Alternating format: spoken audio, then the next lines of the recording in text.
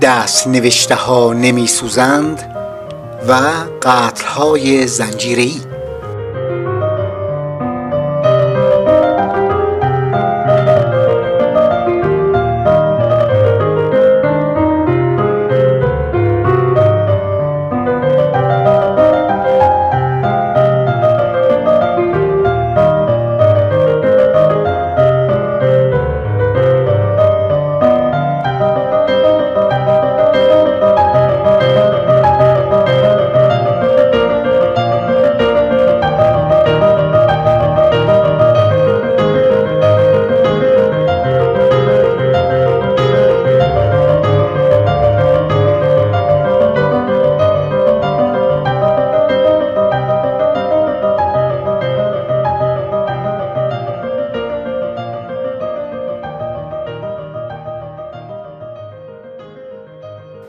خدا کند انگورها برسند و برای لحظه ای تفنگ ها یادشون برود دریدن را و کارت یادشون برود بریدن را و قلم ها آتش را آتش بس بنویسند.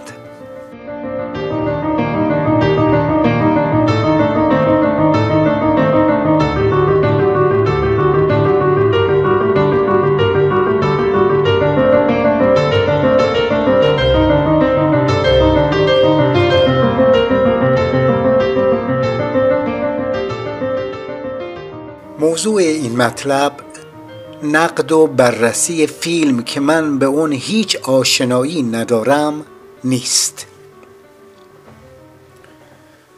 در آغاز گفتگو پیرامون پیش زمینه های جزوه سبز قسمت چهاردهم دوگانگی خورد کننده و فرساینده بهرام آرام به فیلم دست نوشته ها نمی سوزند اشاره نمودم که داستان اون حول و حوش نیروهای امنیتی و شقاوت اونها بود و از حقوق انسانی از دست رفته حرف می‌زد که بدون اون توان رشد و پویایی از یک جامعه سلب می شود محمد رسولوف در فیلم دست نوشته ها نمی سوزند که اون را پس از تجربه زندان ساخته است نشان داد که یک هنرمند دردمند اگر مدتی هم از روی استرار و ارعاب ساکت شود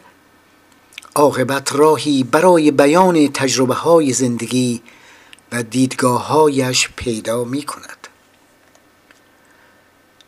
من با دیدن فیلم دست نوشته ها نمی سوزند که بازنمایی شجاعانه ای از سرکوب و حذف بیرحمانه منتقدان و روشنفکران ایرانی است غرق اندوه شدم.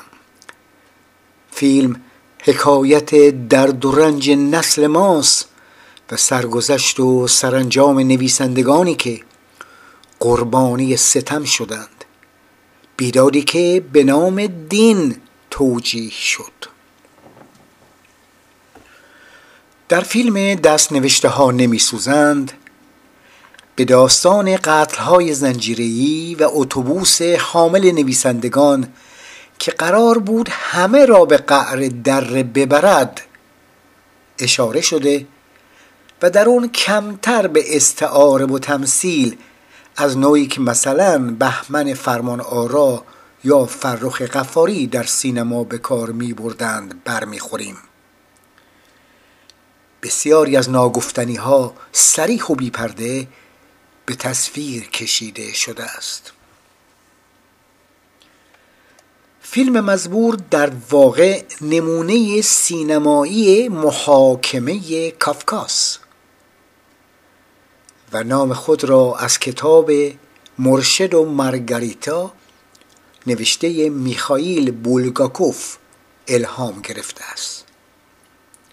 در جامعه ای که بر اساس ارزش های رایج و باور شده اون قدرت تزویر مفهومی معادل هوش اجتماعی پیدا کرده است به تصویر کشیدن رنج و شکنج نویسندگانی که با شقاوت تمام جانشون را گرفتند کار کوچکی نیست.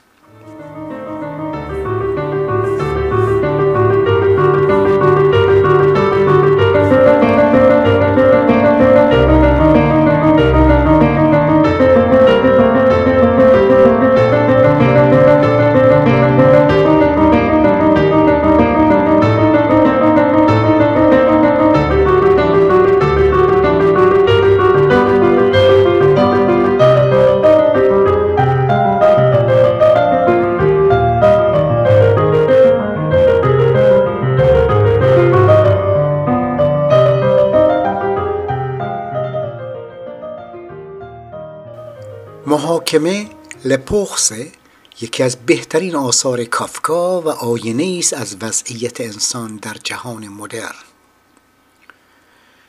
داستان یک انسان رنج دیده است که یک روز صبح از خواب بیدار می شود و دو مأمور را در اتاقش می بیند که می خواهند او را دستگیر کنند. و عاقبت پس از یک بازجویی یک به اصطلاح دادگاه به سوی مرگ میکشانند. اگر برای شما میسر است فیلم دست نوشته ها نمی سوزند را با تأمل ببینید. آدرس اون را در مقاله مربوط به همین ویدیو در سایت خودم گذاشتم.